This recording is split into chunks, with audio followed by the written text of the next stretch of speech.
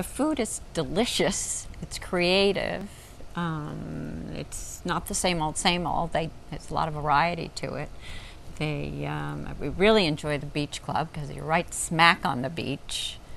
And there's nothing better than, I don't think there's a better place to dine in, in Stuart as far as, you know, a premier water view and getting good food at the same time. It's, it's really special. And then the, uh, the events and the special dinners they have in the dining room.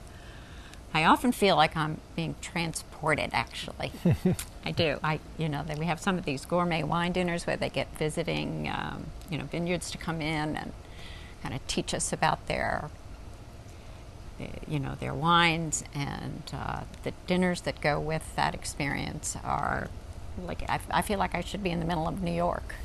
We have some great Yeah. people in our dining room. The chef, the executive chef, and the pastry chef is award-winning guy, and uh, I mean they just outdo themselves.